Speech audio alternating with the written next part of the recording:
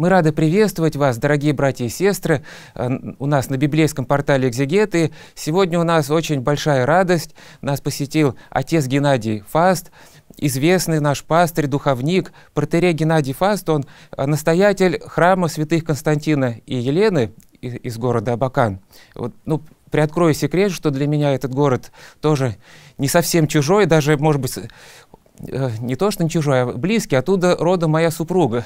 Но, правда, супруга, она, так сказать, последовала за мной, и зато вот э, город украшен многими э, духовными отцами, многими прекрасными духовниками. И вот отец Геннадий, он Э, вы же э, наверняка и много бесед его слышали и видели. Если кто-то не смотрел, обязательно посмотрите у нас на библейском портале «Экзегет».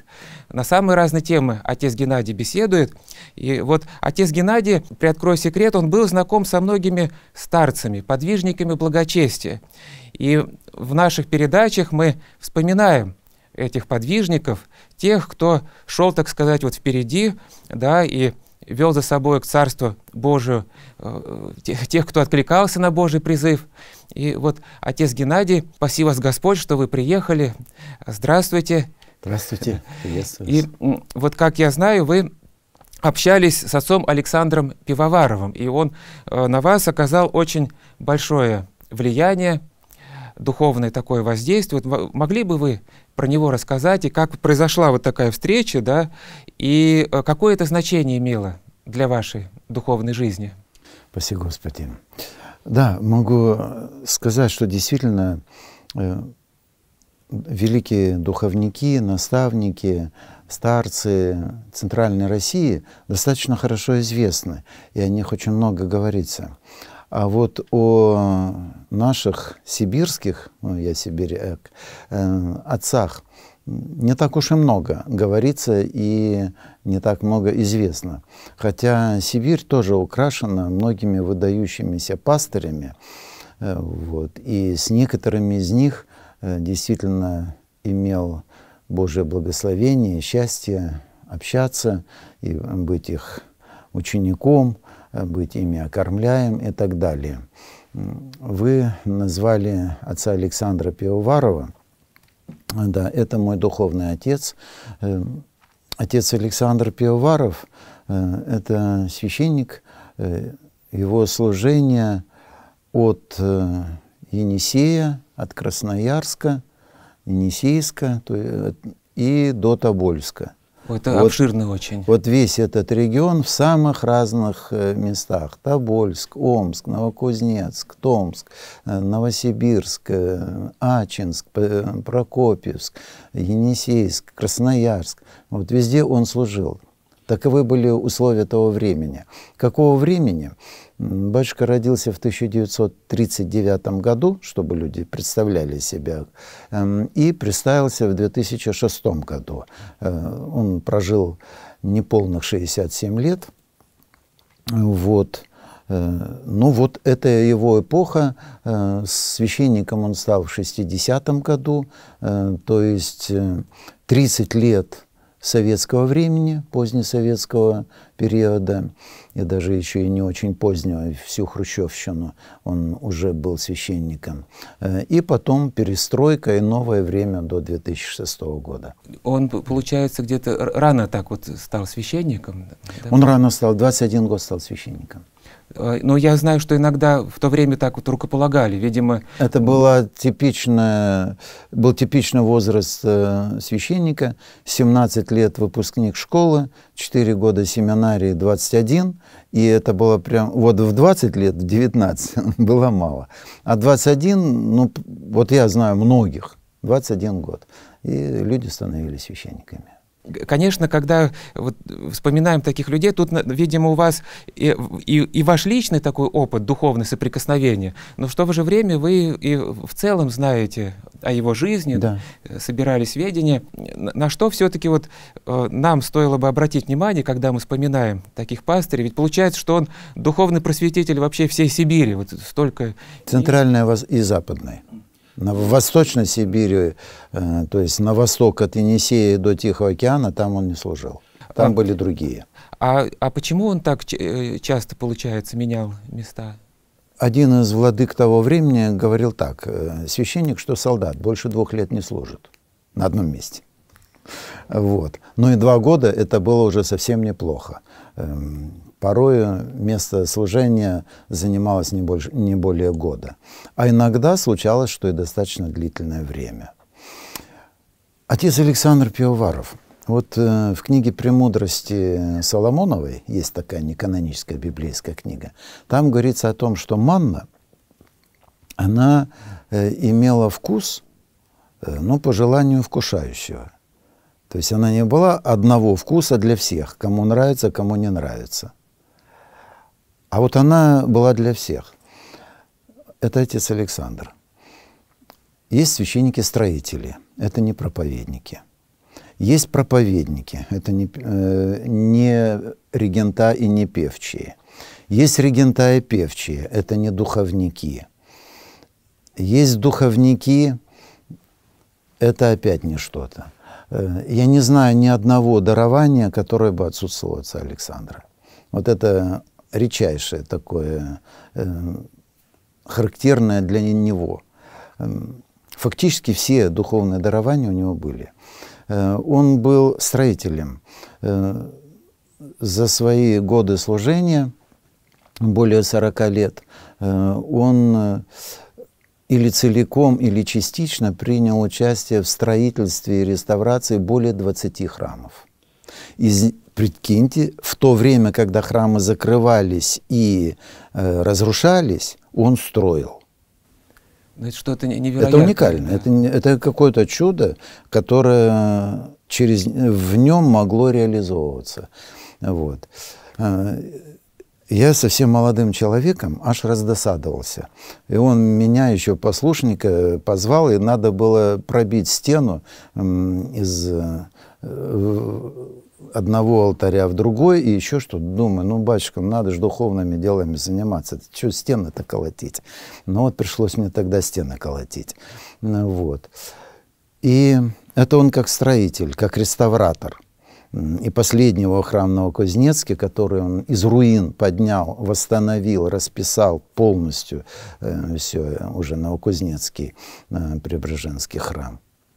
Он уже там и завершился его путь земного служения. Э, отец Александр одновременно э, это регент, э, певчий. Многие лю люди поют и поют хорошо. Но не так уж многие люди поют так, что это за душу берет. Вот в моей жизни были такие. И я бы даже сказал, совсем не так уж и многие. И вот одним из них был отец Александр. Когда он пел, то душа радовалась, ликовала, плакала. Это было не просто э, профессионально исполненное пение. И так он служил. Вот. Это я совершенно не певчий человек. И поэтому вот мое суждение, это как раз э, суждение не профессионалов в певческом деле, а как раз человека в этом деле, не имеющего никаких способностей. Э, вот. Но это э, было уникально. Он готовил этих псаломщиков. Сколько он их приготовил в то время, когда не было никаких регенских школ. Отец Геннадий, вот я, простите немножко, просто у меня тоже такой отклик душевный, когда вы сказали, что как он пел и отзывалось. Я вот просто, да, есть а, знакомый человек, который один раз подобился услышать ангельское пение вообще. И он говорит, что это вот ни с чем не сравнить, и настолько вот э, тянет к молитве, к храму, это пение призывает. Эм, что не передать словами. И я вот подумал, может быть, и пение таких людей, как отец Александр, у которых, э, видимо, чистое сердце, чистая душа и э, горение духа к Богу, когда они поют, то начинают, как ангелы, тоже пробуждать вот души других людей, э, их тоже вдохновляя как-то вот к молитве. Конечно. Одновременно это был великий проповедник – в деле уполномоченного по, Томской, по делам религии Томской области, а этот уполномочен был по сравнению даже с другими уполномоченными э, очень рьяным борцом против религии. Но для современных людей, которые не знают, кто такие уполномоченные, это был советский чиновник областного краевого уровня, который курировал все религиозные дела данного региона, э, и без регистрации которого никто в то время служить не мог. Вот. И уже в перестроечные времена, когда раскрылись эти все архивы, и можно было работать. И эти архивы тоже были прочитаны. Он описывает с такой какой-то злобы. И этот, э, и этот Цицерон, и этот Златоуст вышел тут и начал говорить. И все. То есть вот э, это был уникальнейший проповедник. И опять его слово, оно касалось сердца. Вот. Оно касалось сердца, э, и оно всегда имело и содержательную часть, но на первом месте это было живое слово, э, говоренное человеку. Вот чтобы строитель, проповедник, регент, эти три дара, это уже почти, почти несочетаемо в одной персоне. Но это далеко не все про него. Ну вот. Ну, в проповеди, конечно, он был неподражаем, в проповеди он часто переходил на диалог. И уже весь приход не слушал его, а это уже было некое единое действие, совершаемое говорящим и слушающими. Исповедь. Это был не тот священник, который, как хирург с тонким скальпелем, анализировал душу. Это был тот отец, который блудного сына, не успевшего еще рот раскрыть и не успевшего еще сказать, я согрешил против неба и против тебя, э, вот, а он уже его обнял и целовал. Когда ему человек говорил о каком-то грехе, таком серьезном, то батюшка плакал и говорил, что я хуже тебя. Э, перед исповедью он говорил слово, все рыдали. Если честно, я в наше время такого уже вообще не вижу. Э, то есть люди просто стояли рыдали, плакали. После этого уже вникать вот в эти тонкости, э, это уже как-то не было. Это я не потому, что такая исповедь не нужна. Я знал другого духовника, э, который как раз был тончайшим аналитиком души. И это тоже великий дар. Но вот у батюшки было, он не входил в аналитику. Он каялся вместе с кающимся, плакал, целовал и обнимал. В прямом смысле слова, когда он благословлял, ну, мы же все знаем, как положено благословить. Крестное знамение, чела и дальше, э, рука священника, э, руки приемлющего, целует руку. Тут он обнимал, а он был огромный. Там еще смотри, чтобы шею тебе не свернул. Такие случаи тоже были. Ну вот, что потом у человека несколько дней. То есть он обнимал всех людей. Это был огромный дар любви. Это был дар отеческой любви. Как одна девушка, пришедшая из э, протестантизма, и которая очень жестко здесь встретила ты не Христа, и то, и креста на тебе нет, и все. Вот. И он потом на нее смотрит и говорит, ну теперь я тебе отец. И он становился отцом этим людям. И вот при всем том, казалось бы, вот такая отеческая любовь, безмерная и бесконечная. И одновременно он был матерым и даже, дерзну сказать, хитрым администратором. Он был из тех, про которых говорят, куда я иду, оттуда он уже возвращается. Постоянно коммунисты за ним не успевали. Они еще только туда шли, а он уже вернулся. Это был такой человек, вокруг которого кипело все когда уже его потом, я об этом немножко расскажу, э, обыск был, у него было там десятки крестов с украшениями. Это в те-то времена. У него было все. Если те, это же была эпоха дефицитов. Если у тебя нет э, очков, то будет у тебя очки. Если нет у тебя еще чего-нибудь, то у тебя это будет. Он мог достать все. Вокруг него постоянно все крутилось. И он был очень мудрым, Господь давал ему этот ум. Э, вот. Дальше. В то время действовало только три семинарии, Московская, Ленинградская и Одесская, и одна единственная заочная, Московская. Все. Это не на Россию, а на СССР, на 270 миллионов, на шестую часть земного шара. Когда он был в Томске настоятелем и благочинным, то возникла так называемая Томская кочегарка. Это даже потом в э, архивах уже тоже вскрылось у советской власти. Это так звучало. Что такое была Томская кочегарка? Она в 60-е и 70-е годы выдала более 40 священников. Это была семинария, которая... Как она действовала? Это была эпоха богоискателей. Это были ребята разного рода. Иногда из интеллигенции, ищущие Бога. Иногда с той же самой э, Западной Украины, потому что там было очень много, в одном селе только. Они не могли там все рукоположиться, они ехали э, в Сибирь, чтобы тут рукоположиться.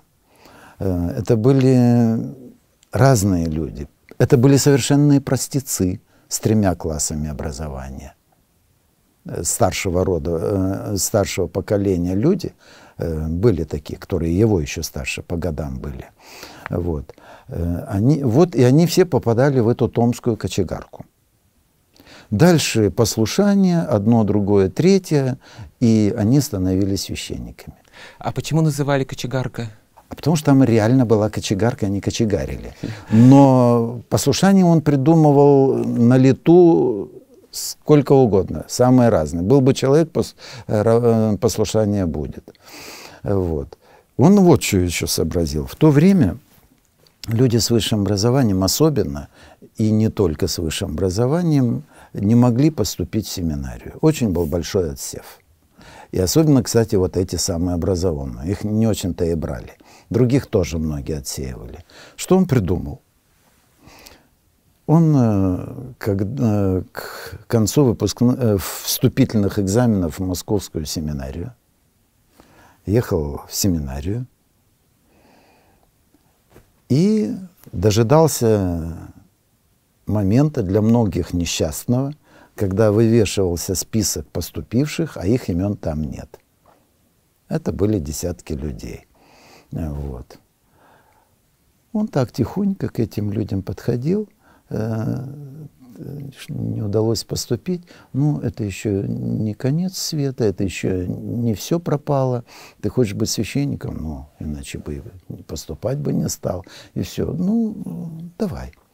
И вот эти не поступившие э, абитуриенты ехали в Томск в кочегарку. Это был один из мощных э, источников э, томских кочегаров.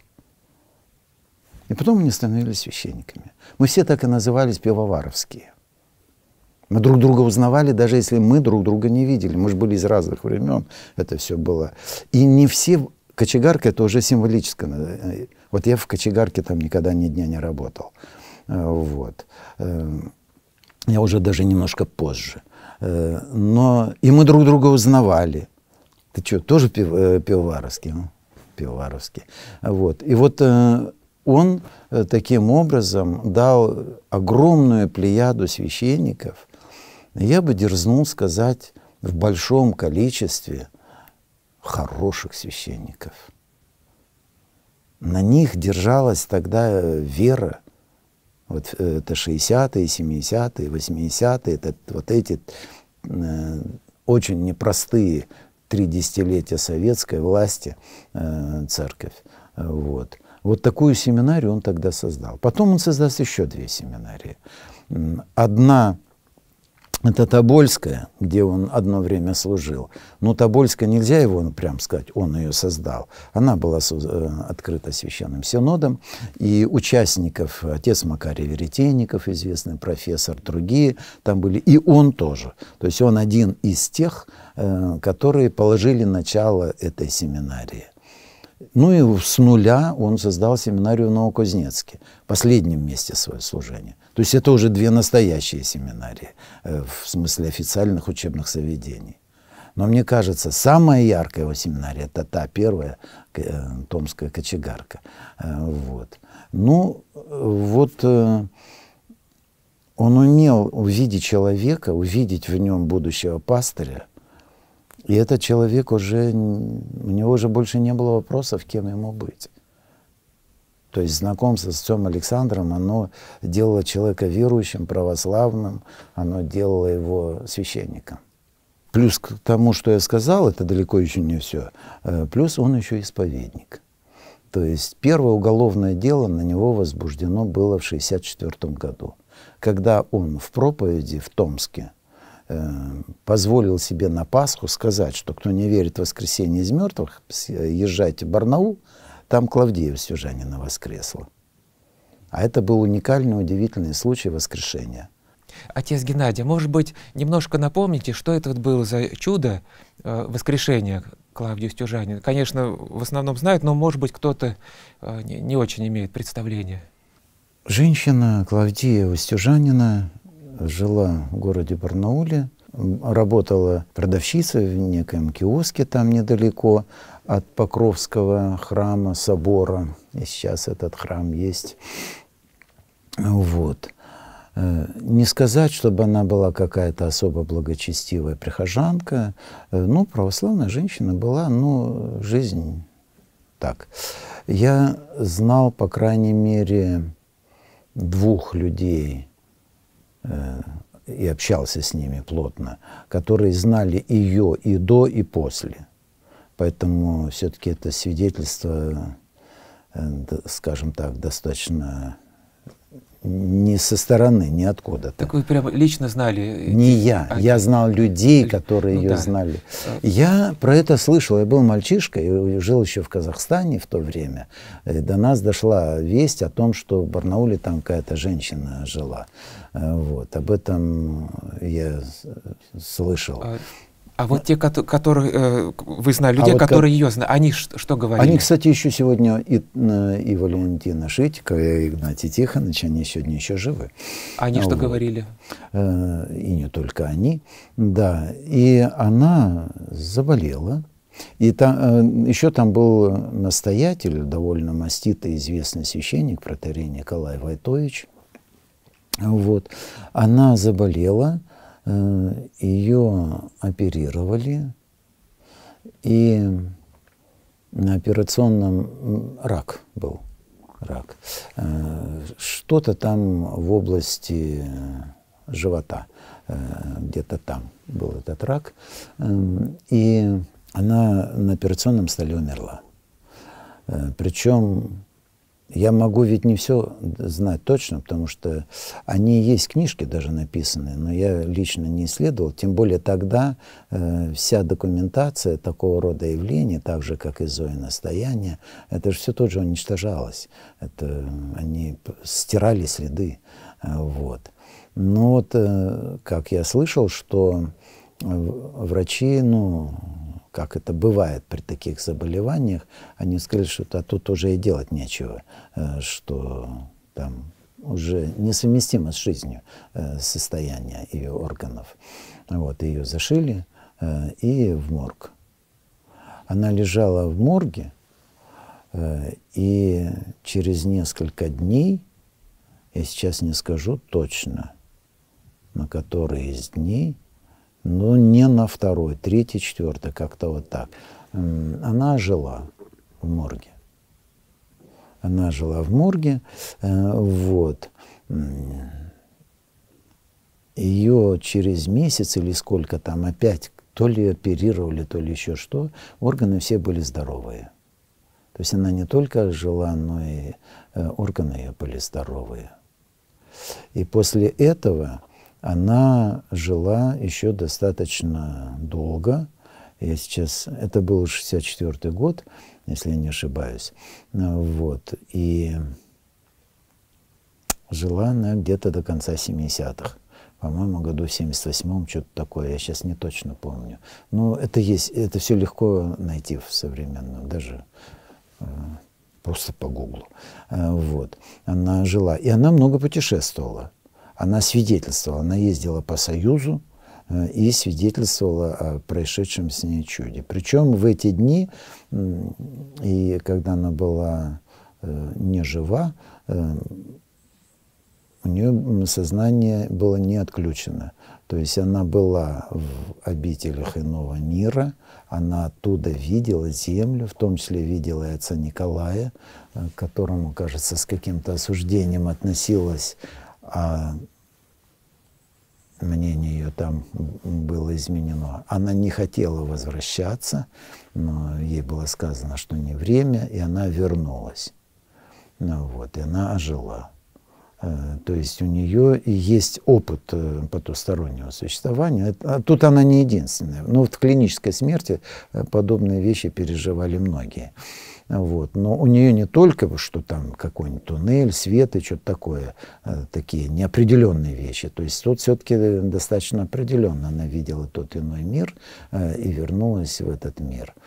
Вот. У нее был сынок. Я ж не ошибаюсь, Александр.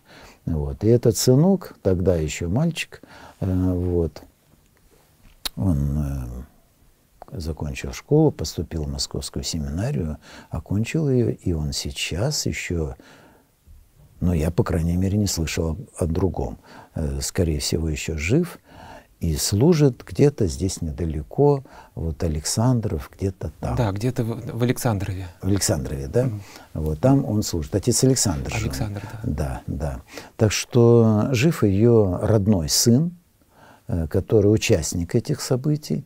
Ну, понятно, э, его там не водили, он не был в операционном зале, где ее оперировали его маму, но он есть. Но это опять говорит, что это не какая-то эфемерная история, где-то про кого-то там чего-то кто-то услышал, а кто его знает, что было. То есть э, достаточно достоверно, и еще живы люди, ее лично знавшие, и служит ее родной сын. Вот. То есть вот такой случай воскрешения была зафиксирована ее смерть. Да, удивительное знамение как раз во второй половине 20 века, когда атеизм... Тотальный атеизм, это же хрущевское да. время тотальный атеизм. В 70-м где-то году уже по последнего папа по телевизору надо было показать. В 80-й год я же еще ходил под этими лозунгами. Нынешнее поколение будет жить при коммунизме. То есть я должен был жить уже в 80-м году, когда я стал диаконом. Я должен был уже быть членом коммунистического общества. Вот. А коммунизм это был безрелигиозный Э, Хрущев, который дал ну, известную оттепель э, по сравнению с тем, что было до него многие свободы, то в отношении религии, наоборот, он закрутил гайки э, очень сильно. При нем тысячи храмов закрывались, вот. И священники, и не священники, рядовые христиане, мой двоюродный брат, вот, отсидел срок, он постарше был у меня, я был и тогда мальчишка, я помню эти времена. Помню, когда еще молились в э, обычном э, доме, дымовуха влетала через окно, взрывалась эм, во время служения. Все это было, это, это еще я помню. Но я был мальчиком тогда, школьником. Ну, вот. А, ну вот так. И тогда Господь дал это знамение. Да, и отец Александр Пивоваров, он как раз э, свидетельствовал открыто на ну, так, в простоте, кто говорит, не верит в воскресенье из мертвых, съезжи, можете съездить в Барнаул. А от Томска до Барнаула, ну, правда, там в то время 6 часов э, до Новосибирска, примерно столько же туда. Ну, короче, часов 12 прокатнитесь и... Да, и за такую проповедь, конечно. Это, уже уголовное дело было возбуждено. А это была статья э, привлечения к вере путем распространения сведений о ложных чудесах. Ну а, как известно, истинных чудес с точки зрения атеизма не, не было, поэтому любое чудо, рассказанное, это могло быть э, поводом к возбуждению уголовного дела. Вот такие времена мы жили. Э, вот. Но тогда все-таки дело не дошло до осуждения. А в 1983 году на тот момент он был э, настоятелем Енисейский, это самый северо-восточный храм э, вот того региона, о котором мы говорим на то время. Вот, он был арестован. Э, дело в том, что в Москве э, было разрешено печатать Библии и молитвословы. И тоже эти издатели дерзнули напечатать больше, чем, чем было разрешено. Разрешение шло от советской власти. Вот. А отец Александр был тем человеком, который этот избыток, ну, он был одним из тех, наверное, основным, брал, вез в Сибирь и распространял. В том числе и я был одним из тех, кто получали э, эти Библии молитвослова. Мы, так, мы тогда не знали. Это был человек, которому все говорили все, а со, который сам для всех оставался терра инкогнито. О себе он никогда ничего не говорил. То есть он был э, для всех, ну, вот так. И статья была возбуждена как за спекуляцию в результате. Э, вот. Были два священнослужителя, которые его предали и сдали, и свидетельствовали о нем на суде против него. Э, вот. И в 1983 году он был осужден, потому что некоторые думают, что репрессии — это Сталин, это 1938 год. Репрессии начались в 1917 а завершились э, в начале 87-го. 70 лет, получается, длились Ровно репрессии. 70, да. В 86-м еще шли аресты, суды и еще садили. Вот. И он в 83-м был осужден, э, получил три с половиной года строгого режима. Он э, отсиживал в э, Тувинской республике, Центральная Азия. Потом уже был переведен на режим поселения. То есть он прошел тюремное заключение за веру. Вот, и кроме веры там не было ровным счетом ничего. Э, вот. И потом он был освобожден. Отец Геннадий. То есть он а, еще и исповедник да, веры. Они сохранились, вот как-то его воспоминания? Ну, ну, видите, вы говорите, что он не особо про себя рассказывал, но, может быть, известно, вот, как у него э, жизнь проходила в заключении, тем более же строгий был поначалу режим.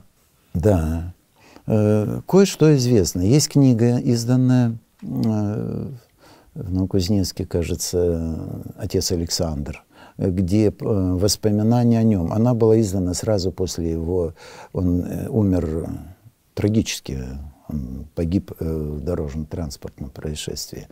Вот, после этого сразу она была составлена. Там много чего есть. Вот. Ну и еще. То есть он исповедник, он э, исповедник веры. И в этом смысле, ну, дерзну сказать, что он вполне э, подходит к канонизации даже. Вот, как э, один из уже вот это самое заключительное время. Э, исповедник, э, то есть узник 80-х годов. На его могилке и сейчас написана молитва – я ее не смогу воспроизвести, а пересказывать не хочу. Ее надо прочесть, как она есть, она, которую он написал там, в вузах. Она очень трогательная и она очень глубокая. Молитва, где и о себе, и о духовных чадах.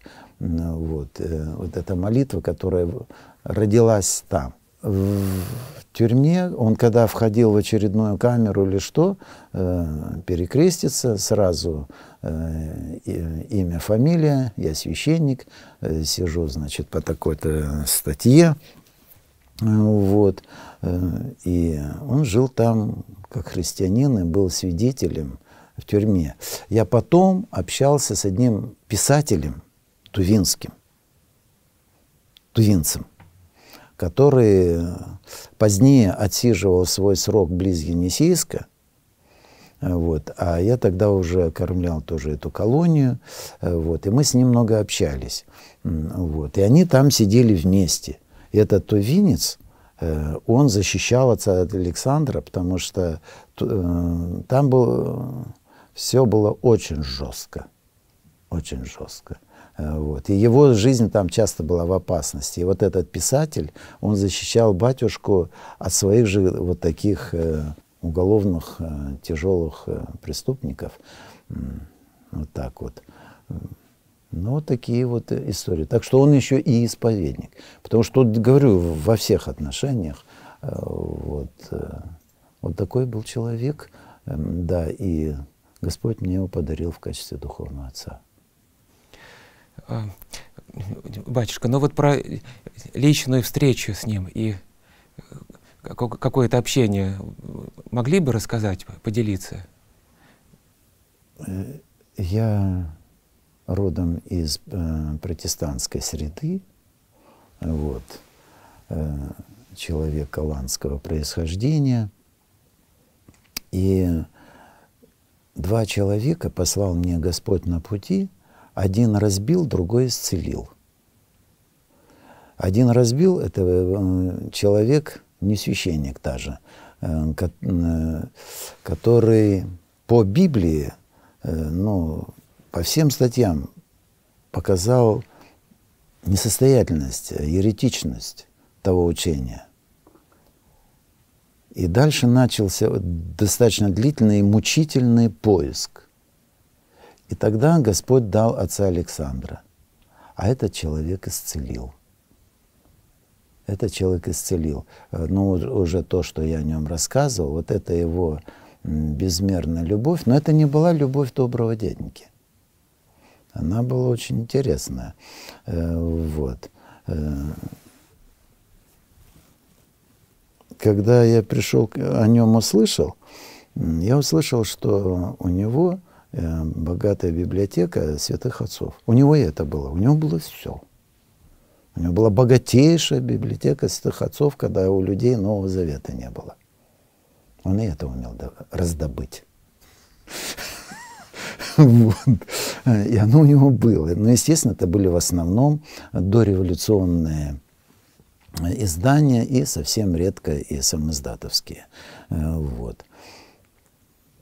И вот я приехал к нему, э, ну, я молодой человек, еще студент э, Томского университета, вот, а он на то время секретарь архиепископа в Новосибирске, он меня знать не знает, ну, я его тоже, только уже я о нем слышал, он обо мне не слышал.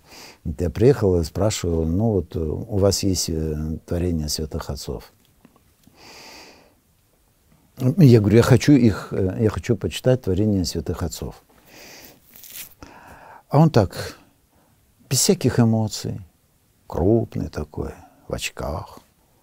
Ну, я не знаю, у кого, у отцов там в Томске, у кого там что есть, но типа того, ты мне даром не нужный. Э, вот. Ну, мне аж как-то, ну, я думал, сейчас меня тут встретят, э, а тут но я все-таки настойчивый. Я говорю, вот я слышу, что вот у вас есть. Но мне сейчас некогда. Э, вот там посиди, вот там покушаешь, там еще чего. А народу было много. Я тогда ничего еще не понимал. А архиепископ вернулся с Москвы, как раз причислили к лику святых Иннокентия, митрополита ну, московского, людского просветителя. А, вот. Там было очень много духовенства, все, я вижу все они. Ну и я вот там мелкая букашка, между ними всеми кручусь. Э, вот. Э, вечером друг меня зовет, и захожу, сидит огромное количество людей в черных рясах. И он там за столом, э, секретарь, архиепископа не было. Вот. Но меня зовут, зашел. Он меня зовет, вот, чтобы я тут посередине прошелся. Ну, захожу. Ну, скажи вот им, что ты имеешь против православия? Ничего себе. Вот. И начался разговор. Потом многие отцы говорили тоже, что они это, для них это был очень тоже интересный разговор, очень такое уникальное, неожиданное, необычное э, явление. Вот. вот он произошел, этот разговор. Потом все разошлись, уже дело в ночь. Я так чувствую, не знаю, что-нибудь, какой-то успех будет моего мероприятия. Я же приехал из другого города специально, ну, чтобы к книгам. Он говорит, ну, поехали, пошли. Даже не поехали. Там надо было идти, идти, идти. У него был такой домик, э, не, не очень большой, по нашим-то меркам нынешним, наверное, и совсем небольшой, но он имел два этажа. Матушка там была, чем-то покормила. Э, вот, поднялись наверх комната. От пола и до потолка книжные стеллажи и книги. Это была его комната. Э, вот. Ну вот, говорит, читай, молись. А мне некогда. И он ушел. я там неделю просидел в этой комнате. И тут мне открылись Василий Великий, и Тертулиан, Иоанн Златоуст, и, э, Леонский, Кирилл Иерусалимский, все.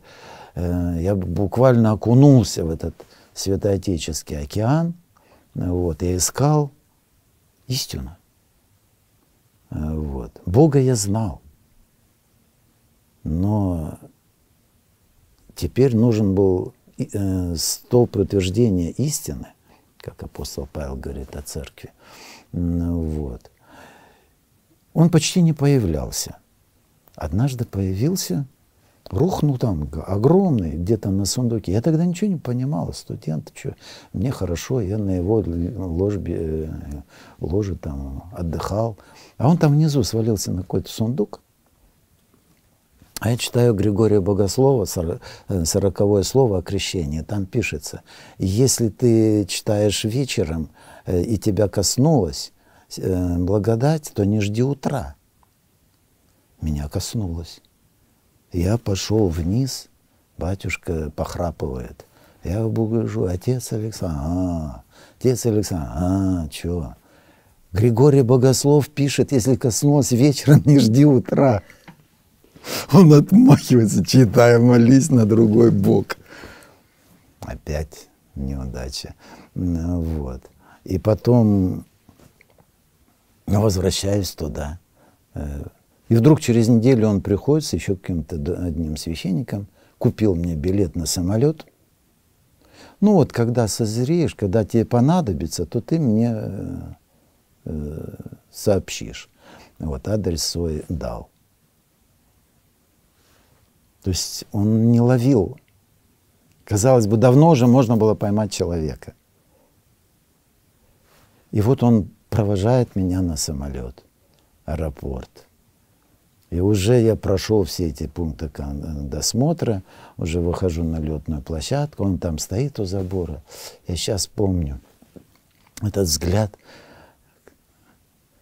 из каких-то недр, какой-то бесконечной любви. Кто я для него? А я у него неделю в его комнате прожил. Вот я так думаю, а я кого, допустим, на неделю в свою комнату вот так поселил? Э, да. Самолет уже поднимается. Я думаю, сейчас грохнется самолет, а я не крещен. Мне было страшно. Но еще две недели добавилось мучительных э, поисков, пока Господь ответил, вода. Все вода, что возбраняет креститься. И тогда я пошел, дал ему телеграмму, и он приехал с Новосибирска. То есть, когда я у него сидел в кабинете, когда я его тормошил, э, вечером коснулась, утра не жди, никакой реакции. А тут он примчал с, с другого города и совершил мое крещение. Более того, он примчал, он не знал, где я живу. Он единственное, что знал, что я студент физического факультета Томского университета. Вот так мы тогда жили. Это не с нынешними телефончиками. Вот. И ему пришлось через каких-то своих прежних знакомых в университет, э, физфак, э, там должен быть такой-то студент, нашли, э, а фамилия у меня, благо, была известная, потому что э, мой старший брат был преподавателем в этом университете. Вышли на старшего брата, ему вдруг звонят, какой-то поп приехал, ищет э, вашего брата. А мой брат тогда не был верующим человеком еще. Ну, а я сразу понял. Помчался в храм, и там произошло крещение. А крещение, он еще, служа в Томске, ему разрешили какое-то подсобное помещение построить. Он его строил, строил, строил, и получается уже э, небольшой храм. Уполномоченный это что? Ну вот подсобное помещение. И там, кстати, за подлицо с полом, вглубь, была купель для полного погружения. Единственная тогда в Сибири. Везде крестили, даже не обливанием, а так, лобики мочили. Вот. Ну, сказали, завтра приедут тракторы и снесут эту незаконную постройку. А есть, кажется, закон, что если есть крыша, то тогда снести, это уже надо специальное заседание архитектуры города и все такое. Он организовал бабушек, и они за ночь крышу сделали. И когда утром подъехала техника, там уже была крыша, и сносить никак. Ну, его снесли. Его тогда перевели в другой город. Ну, вот. А когда я пришел, а для меня было однозначно, если крещение, то только полным погружением. И вот вдруг открывает этот пол. Батюшка, который там служил, даже не знал про это. Там стояла обычная это, такая э, купель э, вот, э, софринская для детокрещения. Вот. И открылся этот пол, и там вот эта э, купель. Наполнили ее водой, и там он совершил мое крещение. И он же призвал их к священству. Он и благословил брак, он и повенчал. Руки были епископа, рукополагающие, а вся подготовка к этому была с его стороны. Да, отец Геннадий, то, что вот рассказываете, тут прям чувствуется что-то не, не человеческое, а выше человеческое, потому что, ну, чисто вот рассудочно, если так э, размышлять, да, вот приехал, да, а поначалу какое испытание, да, вроде бы он не отвечает, и там у меня вроде ничего нет, а потом и в то же время в своей комнате сели, да, и вроде бы тоже не отвечает. То есть тут что-то прям вот действительно неподвластное человеческому уму, но Господь вот уже вел. И он же не всех селил в свою комнату. Я там неделю жил, когда его там практически не было. Грубо говоря, делать, что хочешь. Вот. Но там мне Господь открывался. Там мне открылось православие, открылась церковь. Бога я знал до этого. А дальше я не успел насладиться. Я э, к моменту, когда меня изгнали из университета, вот, я поехал к нему э, уже, чтобы служить.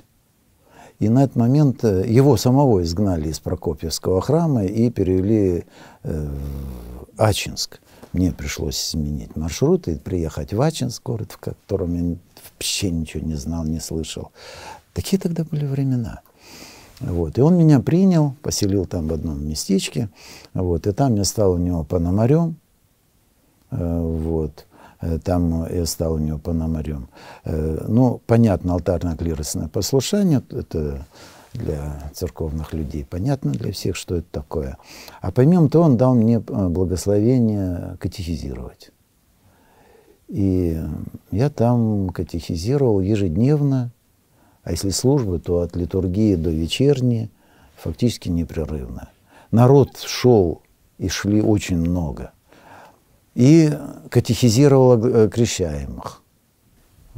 Это же тоже что-то невероятное для 79 год. Просто что вы там... На общецерковном уровне это все начнется в 2009 году. Да. А это был 79 год. И у нас, э, я тогда катехизатором был, катехизировал этих людей, вот. Э, а еще он мне благословил писать толкование на апокалипсис. Ну, благо, что мне тогда не 60 лет было. В 60 я бы подумал, по святым отцам бы. А так сказано, сделано. Вот. И я сидел там по намарке и начал писать, начал готовить. Вот. Потом, да, получилась книга толкование на апокалипсис. А вот тогда там и началось. Вот опять он это видел, он, э, он же другим, допустим, это не говорил, другим он другое говорил. Э, вот. Он каждому говорил то, что ему нужно по вкусу. Манна была вкусом для каждого человека своя. Э, вот. И тогда уже, да, и у нас был молодежный кружок, это в 79 году в православном, при православном приходе, когда все, повсеместно были только бабушки, даже дедушек-то не было. Вот. А у нас молодежь была. И у нас были почти ежедневные занятия по Библии.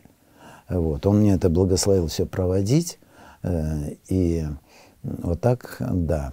А потом быстренько его опять и оттуда убрали тоже был неугоден властям. И я там стал неугодным, меня тоже оттуда. Вот. И потом все-таки священный сан Господь э, сподобил, э, вот, но уже не в его присутствии. И я бы сказал так, что я не насытился до конца, не взял все, что бы хотелось. То есть сильно, ну как ребенка отрывают от матери.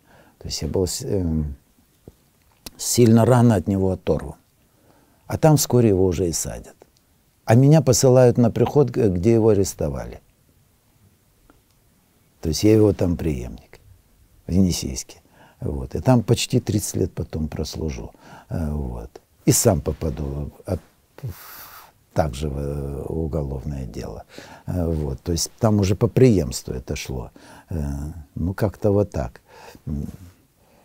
Но, тем не менее, мы его всегда помнили. Я к нему и э, туда, вузы ездил, когда он уже был в зоне поселения, когда он был в колонии строгого режима Актаворак. Там, туда, конечно, невозможно было.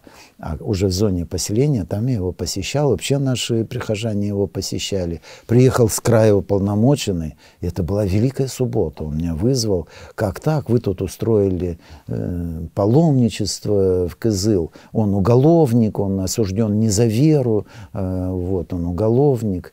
Э, ну, вот так, а мы к нему паломничали. Ну и позднее, уже в 2000-х годах, мы уже сами не молодые, вот, э, и э, сам уже, как говорится, протерей, борода длинная, вот, но мы к нему ездили, ездили как к отцу.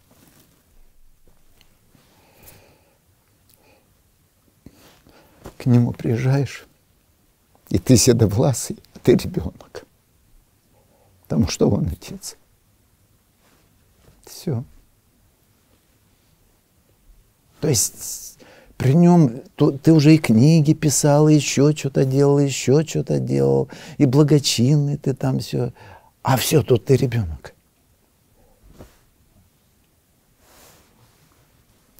Но это вот Господь все-таки милость такую явил, что духовный отец – и такой вот истинный служитель Божий. Да. И этих пивоваровских их сколько. Причем я даже иногда злился. Смотрю, один человек, я бы его близко не допустил ни в церковь, ни до сана. А с его подачи все у него. Я думаю, ну, батюшка, ну ты что, ничего не видишь, что ли? Сколько должно будет пройти время, чтобы я понял, что это я ничего не вижу. То есть для меня было понятно, как кто такой верующий человек и каков нам подобаша Ирей. А это совсем не то. А батюшка и в них видел. И он для них был то, что было нужно им. Мне это было странно. А он мог. Эти люди... А мы потом встречаемся, он пиварский, я пиварский. А между нами что общего-то? А только то, что, оказывается, у нас вот духовное начало одно. Один сейчас э, из, он не то, что его духовный сын, но он тоже, уже будучи священником, оказался без места служения, все, отец Александр его увидел, пригрел, э, и все. И уже лет через сорок вот, и мы созванимся, ну, как-то удивительным образом вышли ну, пересеклись, как говорится. А увидели наши абаганские люди, были на Святой Земле, встретили там с каким-то батюшком, разговорились. И он там понял, да этот ваш батюшка мой дьякон.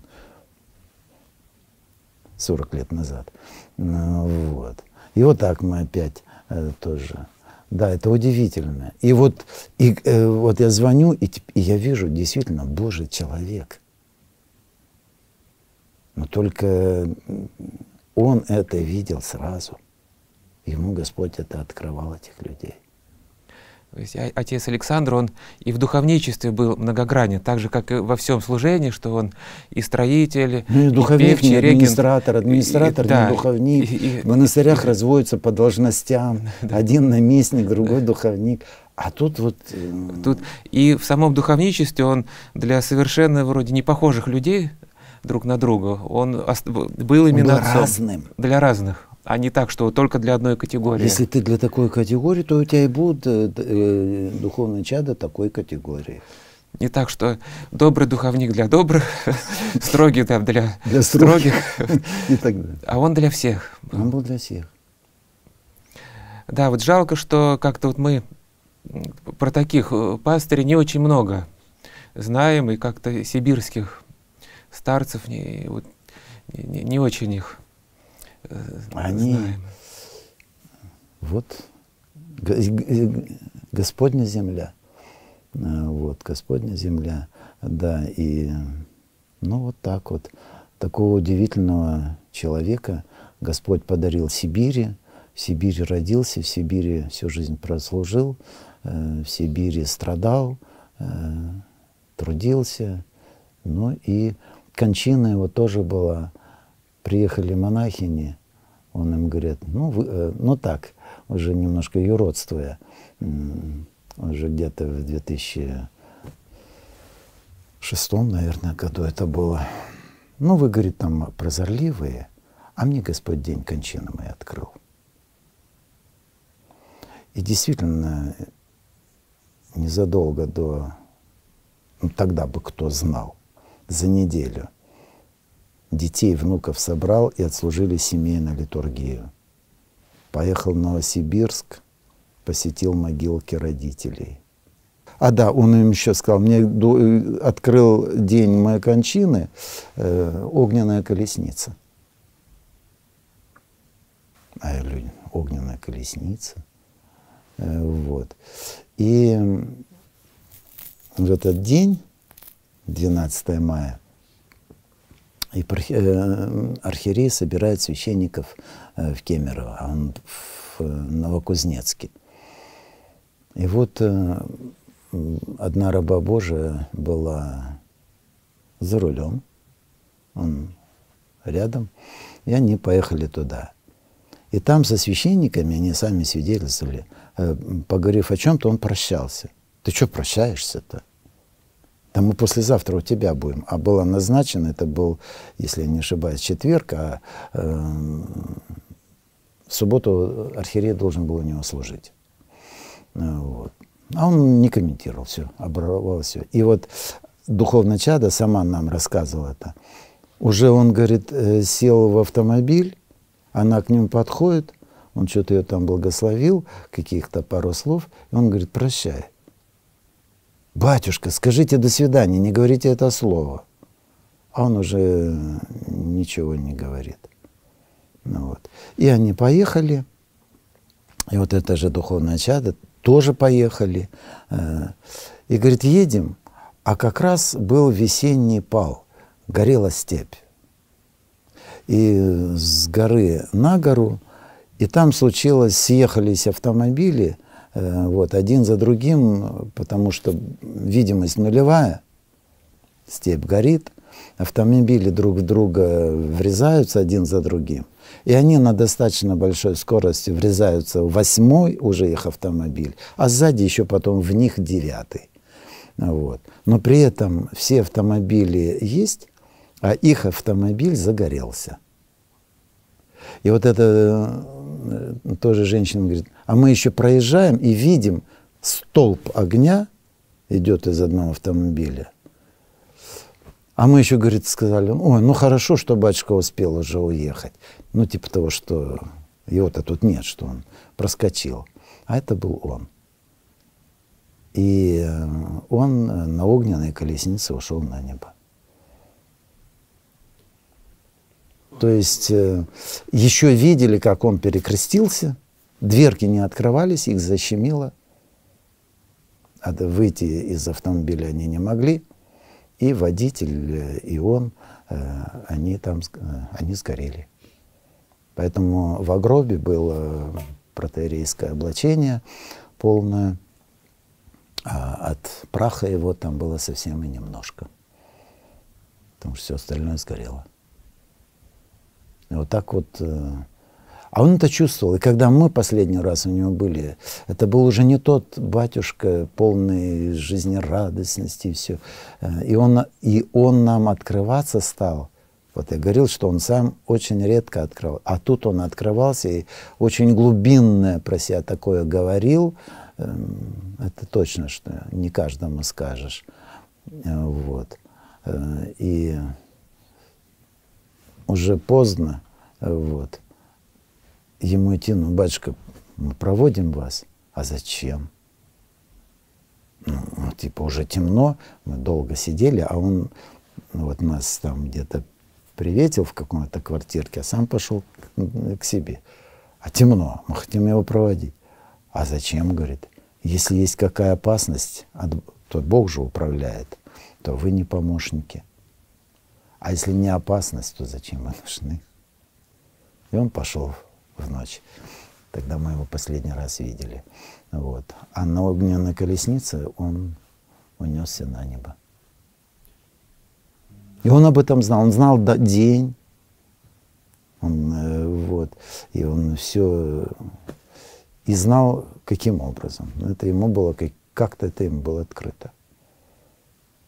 Это трудно даже представить, что такие вот люди живут, священники, пастыри, и э, ну, практически никто даже не знает, что это э, святой человек – подлинный служитель Божий, и которому Господь что-то открывает.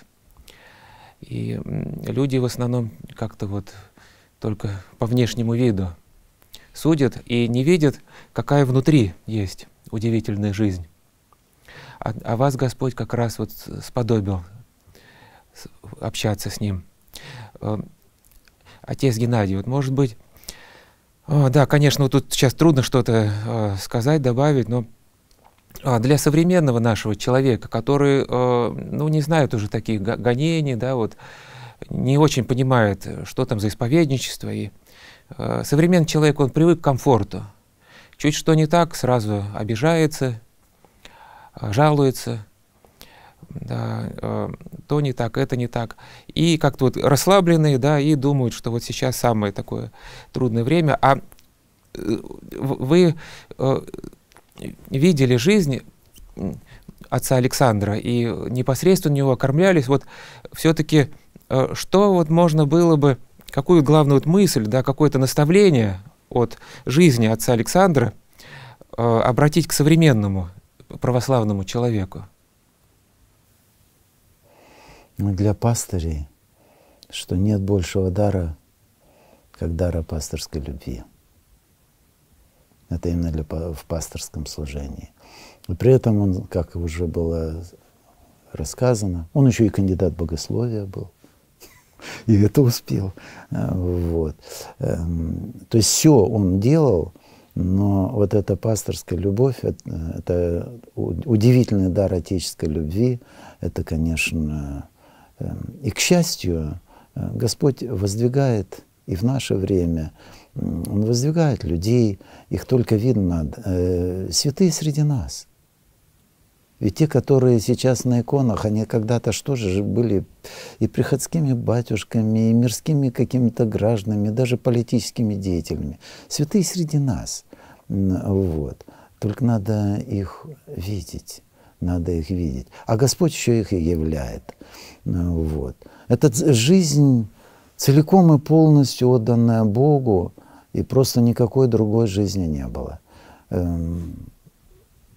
Вот сейчас даже выпускники семинарий, академии, э, приходится видеть, что они то есть для них очень много где жить, как жить, э, на что жить, чем заниматься. Понятно, другая эпоха, совсем другая эпоха. Вот. И нельзя с одной эпохи однозначно переносить другую. Но тем не менее, вот жизнь целиком и полностью отданная Богу. Э, без остатка. Э, вот. И при этом даже не монах, у него двое детей, э, вот. Дочь регент, сын протерей. Ну, то есть вот жизнь целиком отданная Богу. Вот это я бы сказал, вы говорите молодым людям, потому что если я сейчас начну чего-нибудь конкретно говорить, эпоха другая, реалии другие, условия жизни, служения другие. Но что Иисус Христос вчера, сегодня, во веки тот же. И жизнь, целиком отданная Богу, это то же самое. Пусть совершенно новых реалиях. Вот в тех реалиях же Он смог. А 50 лет до Него были другие реалии. А 100 лет до Него были другие реалии. А теперь уже опять другие. Но меняются времена, а не меняется Христос. И не меняется возможность целиком отдать себя Христу. Мне он тоже как-то, еще когда я студент, ну, вроде все хорошо, вот и верующие, и студенты, и науки, ну, все вроде так. Но, говорит, здесь ты весь у Бога и для Бога. Вот в этих, э, каждый вот этот приход, даже ограда прихода, это был как островок в океане, безбрежном океане безбожия, которое тогда было. Ну, вот. Э, и вот здесь э, ты полностью, здесь ты для Бога. Эм, вот. И вот, да, современным людям я бы сказал, я не дерзну со своей стороны что-то предлагать и предписывать конкретно. Конкретно это у каждого человека решится как-то. Но решитесь на вот эту жизнь, отданную Господу, без остатка. Это Господь вознаграждает не какими-то внешними там, хотя иногда и внешними тоже, но благодатью своей Он наполняет. А если вера и даже священство — это просто ну, какой-то участок моей жизни — а уже там, за пределами типа того, что не лезть, там у меня уже своя жизнь или еще что. Ну вот. вот жизнь целиком отданная Богу. И, наверное, вот какой еще может быть урок, что отец Александр Пивоваров, он много в себе совмещал. И строитель, и проповедник, и певчий, и регент, и наверняка и хозяйственные вот эти работы, и та же самая кочегарка, и руководил хозяйственными работами, в то же время и духовник, вот, и, и учитель, наставник. Вот. А у нас, э, ну, если кто-то, допустим, он просто вот он строитель, то самое главное совершать это строительство как тоже как служение Богу, да. Если кто-то проповедник, тоже пусть вот именно как служение с таким сердечным горением Господа. Если кто-то, ну, священник, допустим, духовник, то тоже вот как искреннее служение. Ну, в общем, каждый к какому делу призван, пусть он не такой многогранный, как отец Александр, а просто там один или там два каких-то дарования дано, но совершает так, как совершал отец Александр. Да, это... да, да, да. Не надо ему подражать внешне. Вы знаете, это было невозможно ему не подражать. Вроде ну, слегка грамотный человек, эм, вот, и говорить ну, Бог дал способность. Но после того, как я у него духовно кормлялся и стал священником, некоторые говорят, что вы, э, если глаза закрыты, то как будто говорит отец Александр. Даже интонация, все у меня было его. Пока, наконец, мне не попался мой прекрасный один псаломщик. Он сказал одно словечко, я даже не буду его говорить. Это, говорит, а этот псаломщик тоже духовный, до этого же самого отца Александра. Вот. Он говорит, так отец Александр говорил, а вам, отец Геннадий, это не к лицу. И я вдруг раз это осознал, и как-то достаточно быстро это все ушло. То есть действительно даже духовное чадо должно оторваться от духовного отца, чтобы стать самим собой. И чтобы Бог начал раскрываться в тебе, в том, что есть ты. А пока ты находишься там, ты даже где-то бессилен вот, не подражать. И это нормально, дети подражают родителям, а потом оставишь отца и матерь, и уже прилепишься не только к жене своей, но и к делу своему, и к служению своему, и так далее. То есть ты станешь самим собой. Вот. А вот так и здесь. Вот эти отцы, они нам даны для того, чтобы нас напитать, чтобы мы родились, чтобы мы это все вобрали, а потом надо стать самим собой, конечно. Вот. Э, если я сейчас просто буду тупо э, вести себя так, как он себя вел, то это и правда будет тупо. Э, вот. Поэтому надо благодать эту принимать, а в тебе она уже раскроется даже в каком-то смысле слова без твоих усилий. Ты только успевай наблюдать и не противиться ей она будет тебя формировать уже таким, каким Бог хочет тебя, и через тебя будет происходить то, что Господь хочет сделать через тебя. Отец Геннадий, вам огромная благодарность. Но вот хочется все-таки последний вопрос такой задать в нынешнюю беседу. Но я очень надеюсь, что наша вот встреча, она все-таки не последняя, что мы еще сможем встречаться, общаться. А вопрос он, знаете, какой? И у многих он возникает – вот мы вспоминаем старцев, подвижников благочестия, вдруг удивительных духовников, которые ну, люди просто вот не замечали. И многие в каком-то смысле, ну даже вот я сам, э, начинаем огорчаться. Вот э, нам хочется, чтобы тоже вот был э, какой-то вот рядом с тобой старец, духовник, который такое вот яркое впечатление на тебя производит. А получается так, что зачастую люди этого не имеют, да, то есть э, лишь небольшие какие-то вот исповеди, когда они приходят, и какое-то небольшое окормление, может быть, кто-то не может духовнику найти. Вот как быть э, тем, кто не встретил в своей жизни э, духовника, подобного отцу Александру? Знаете, святитель Григорий Богослов, толкуя многоязычие апостолов в день Пятидесятницы, но не мог же апостол Петр одновременно говорить на нескольких языках. Или одно предложение по-латински, другое каппадокийски, третье там арабски. Не говорил же он так. И святитель Григорий Богослов высказывает мнение, оно не стало ни общепринятым в церкви, ничего, но что каждый слышал на своем наречии. А не то, что апостол говорил сразу на всех языках, а каждый слышал свое наречие. Дух Святой давал открывать, давал разуметь то, что апостол говорил. Мы сейчас не будем, все-таки многоязычие было, конечно же, но мысль-то хорошего святителя Григория – это «внуши Господи». То есть «внуши» – это слово мы, внутрь ушей. «Вн» – внутрь э, ушей. То есть главное, имеющее ухо слышит, да слышит. Если ухо открыто, то оказывается твой батюшка, о котором ты не такого высокого мнения, и который уж точно не старец, и уж точно он не Иоанн Крестьянкин, не отец Кирилл, не отец Александр Пивоваров, а он может быть для тебя больше, чем они.